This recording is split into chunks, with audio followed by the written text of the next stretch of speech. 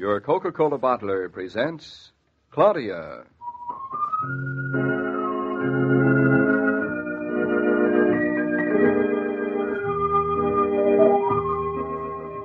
Claudia, based on the famous play and novels by Rose Franken. Brought to you transcribed Monday through Friday by your friendly neighbor who bottles Coca Cola. Relax, and while you're listening, refresh yourself. Have a Coke.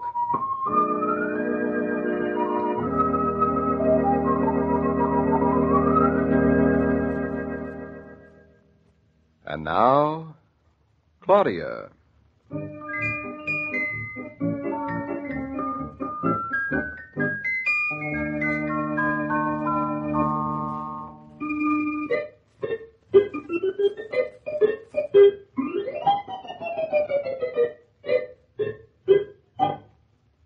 Say, David, Hmm. you thirsty? Nope, not a bit, thanks. Oh, you're welcome. Well, I think I'll have a glass of milk. But before I have my glass of milk, I think I'd like a kiss.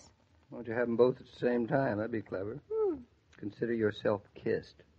Now, go get your milk. You know, one little kiss gives me an enormous thirst. Mmm. My kisses do that to you, do they? Mm, yes, yes. Now, skadoodle. Well, that wasn't much of a kiss, David.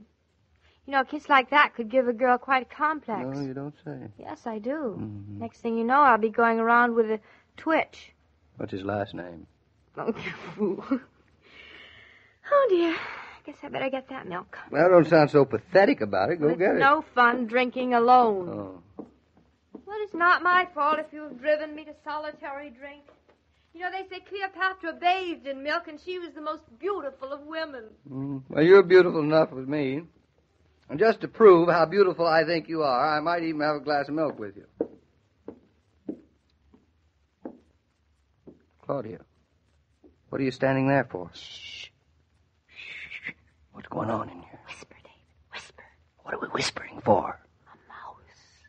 Where's a mouse? I don't see a mouse. Shh. A wee brown mouse right there, see, on the pantry floor. Oh, I don't see any mouse.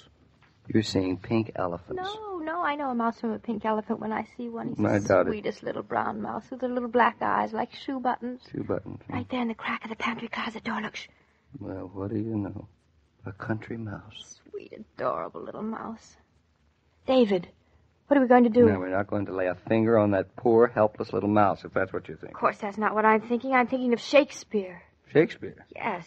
That great, big, brave cat. Well, don't you worry about Shakespeare. Shakespeare will catch him. Well, if Shakespeare Don't hasn't snicker. caught him now, well, the chances are that he won't. If I found out you went and squeaked on the mouse and told Shakespeare where he was, I will never forgive you. Now, listen. I am much fonder, much fonder of this mouse than I am of that cat of yours. Hmm. Just because you like mouses is no reason why you should insult catses. Cat Oh, hey, he's disappeared back into the pantry closet. David, I simply adore mouses. Oh, you do. You just adore mouse. Yes. I'll tell you what I'll do. What? I'll get you one for a watch fob. Do that. Mm, I will. Well, come on. Let's tiptoe out of here. All right, let's tiptoe. Come on, one, two, three, four. Come on. Hey, why are we tiptoeing? Well, we don't want to scare the little mouse. Oh, I see. Of course. Do you know that's our first country mouse, David? Mm-hmm. Has hay in his hair. Hmm. It's the first one we've seen. I wonder how'd he get in the house, I wonder. Listen, you didn't leave any holes in the floors or the walls when you Mm. rebuilt it, did you? No, not a hole. A mouse can always find his way in, though. Well, how? Down the chimney? Maybe. Oh, the water pipe, probably. Water pipe? Oh, they're so sweet. David, remember the mouse we had in the city? Oh, you mean Goliath? Hmm. he was some mouse, oh, huh? it's wonderful. Yeah, that mouse had a pedigree. Yes. this one looked awfully tame to me, didn't he to you? Mm-hmm. Come on, let's go back. He's probably Say hello. Good evening. He's probably from a mouse circus, you know. Oh, yes, probably. We Uh, we to make him feel at home. Yeah, if we go back, we'll scare him. How do you know it's a him? All mice are hymns. Oh, no, no. I think rats are hims, mouses are she's. Oh, no, that's that, that that's a nice thing to say. Listen, there she is. Where? She's so tame. She's staring right at us. Mhm, Look at that. David, can you imagine how no- enormous we look to a mouse? Hello there, Mehitabel. Oh, now that's a silly name for a mouse. Mehitabel? That's a fine name. This mouse Yeah. looks exactly like Mehitabel. So much bigger than the mouse is, though. No, no, we can't call her Mehitabel. Won't do it all. What about, um, um, Mm. what about, um, Aloysius. Aloysius will do it. that's a lovely name. Aloysius? Aloysius. Stand up, shake hands. You know, I thought it should be pronounced Aloysius. Well, fine. We'll call him Aloysius. Here, pussy, pussy. Come on, Don't say that now.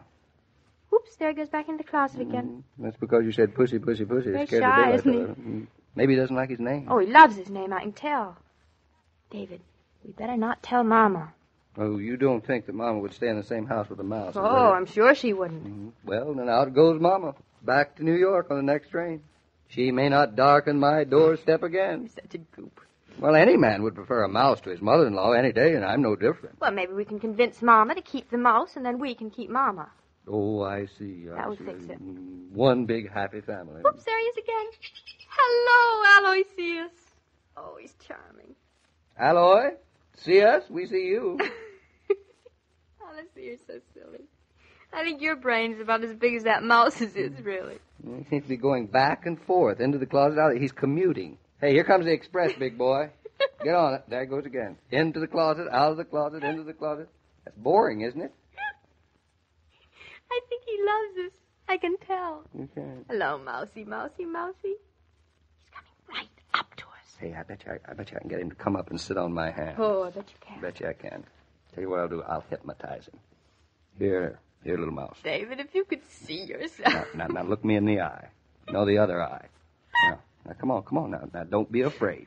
You Fool. Poor thing's shaking all over. You're scaring it. That mouse adores me. Now, you go away. Oh, I wish we had some cheese now. house. I bet it adores cheese more than it adores you. Look, I'm the big cheese in this house. Don't you forget it. Now, stop giving that mouse ideas. Come over here, you monster. Where are you? no way to talk to a mouse. You have to be gentle Ah. and sweet, My, like I am to you. mice, mice like to be treated rough. Oh, he's so sweet. He's crawling up. David, he's coming towards you. I always knew I had a fatal attraction for mice. Oh, that's why I love you, darling. Mhm. No, that's not why, is it? He needs a shave. Look at him creep. I don't know why people have a prejudice against poor little things like that. Because they're smaller than we are. A great deal brighter. Yes, I guess that's why. Mhm. Come on, pussy, pussy, pussy, Quit mouse. Naughton, Mrs. Naughton, Oh, something hello, is brother. wrong. Mhm. Bertha, look what you have done. I have done what? Yes. I see you both kneeling on the floor. Is something wrong? You have just done something terrible, Bertha. Scooted back into the closet again. What scooted back into the closet? Well, the new household pet, of course. You do not make any more sense than two children. What household pet scooted back into the closet? Shakespeare is in the bedroom with Fritz. Sweetest, tiniest, shakiest little brown darling you ever saw, Bertha. All right, so you cannot tell me. I'll go into the closet and see myself. Over my dead body. Uh, maybe we ought to tell her, Claudia. After all, she um, she does have to live with it. you yes, know. I guess you're right, David. Mhm. You're right. You're right. Bertha, it's a mouse. A mouse A mouse. in my kitchen. A mouse in your kitchen. Mhm. We just discovered him, Bertha. His name is Mehitabel Aloysius Naughton. Do you like that name, Bertha? No, You don't. no, Well, he does. We want you to Hmm. treat him with utmost respect. no. A mouse in my pantry. Mhm. Oh, no. How did it happen? Oh, the mouse knew a good thing when he saw it. He it. certainly did. I'll scrub that closet tomorrow, and good. Mrs. Naughton, I'm so sorry, but the mouse, I don't know how it got in. He'll be Well, very glad nothing. you clean up the place for him, Bertha. He likes it I'm so excited about it, Bertha. I, I get Fritz to put a trap in the pantry tomorrow, and we go over the whole house from tip to toe. Now, look here, Bertha. This is no criticism of your housekeeping. On the contrary. You understand it is difficult sometimes to keep the mice out of the houses in the winter. Now, Bertha, you stop But- worrying. We appreciate your hospitality, and the mouse you chose is adorable. It certainly is. No, I'm no hostess to mice. No, congratulations. and you certainly one are. trap and it will be gone. Are you serious? Natürlich, I'm serious. David, talk to her. I certainly will.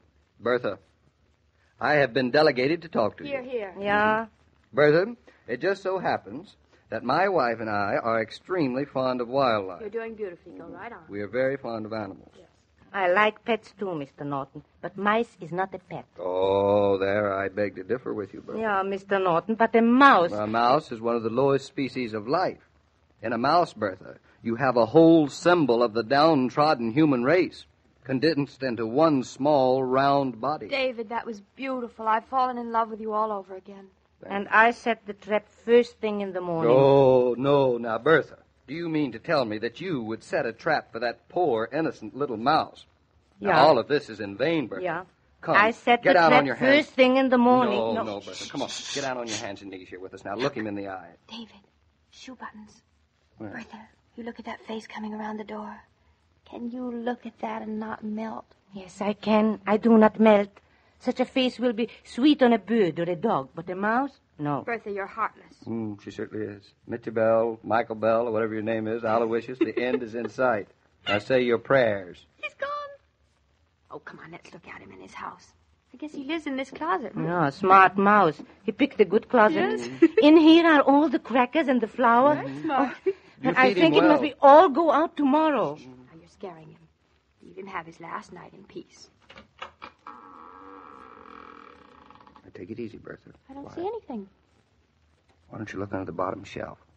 Well- Unless there's a hole in the wall, he would have gone through there now. Turn on the light, darling. Oh, you are like babies with a new toy. Ah, it is good to find people who love even mice, but sorry. Tomorrow the trap. No, now, Bertha, Such Bertha. prejudice, Bertha. David, I see him. I mean, her. Move over, and let me see. He's a her. Scoot, Bertha, scoot. No. Look there in the corner next to the flower canister. Tell me if you see it too. Get down, look. Mm, Wait a minute, wait a minute. What do you see? Well, well, well. Do you? Mama Mouse and her three baby mouses. Look at them huddling up to her. Their eyes aren't even open. They're tiny, like egg yolks. Look at that. It's, it's a family portrait, huh? David, look what they're sitting on. Your blue sock. Oh, I That's the one I I'd- couldn't find. Remember, I looked I for certainly weeks and I couldn't find. Had a hole in it She's anyway. smart. She found it, and brought it all the way. She dragged it all the way in here to make a bed for her children. That's that's really a mother for you. I wonder if she could find my Bertha, suspenders. Yeah. I, I see, Mrs. Naughton. Look at the way she's looking at us. Say, you haven't seen a pair of green socks Don't you'll anywhere. disturb her. look, they're all shivering so. Now, what do you say now, Bertha? No, no. No, I, I say you cannot disturb a mother and her children. Yes, that's what I say too. And when the children are a little older, Fritz will find them a place in the barn. And the house mouse will become a barn mouse. Oh, David, aren't they adorable? Mm-hmm. Mr. and Mrs. David Naughton announced their house guest, Mrs. Mitchell Aloysius Mouse. And her three little mice.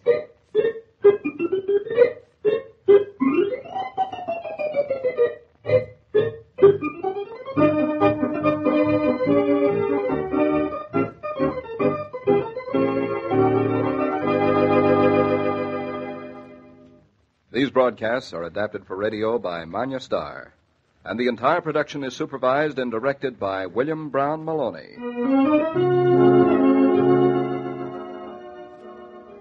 A pleasant custom has taken root among workers whether they earn a living with head or with hand. It's the custom of working refreshed with ice cold Coca Cola. You probably have a schedule at home that would make an eight hour day seem pretty light, and so an occasional pause does wonders to perk you up. Why not go to the refrigerator, get yourself a bottle of Coke, and refresh right now?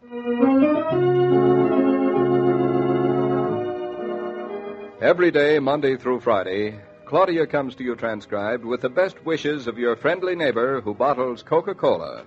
So listen again tomorrow at the same time. And now this is Joe King saying au revoir. And remember, whoever you are, whatever you do, wherever you may be, when you think of refreshment, think of Coca Cola. For Coca Cola makes any pause the pause that refreshes. And ice cold Coca Cola is everywhere.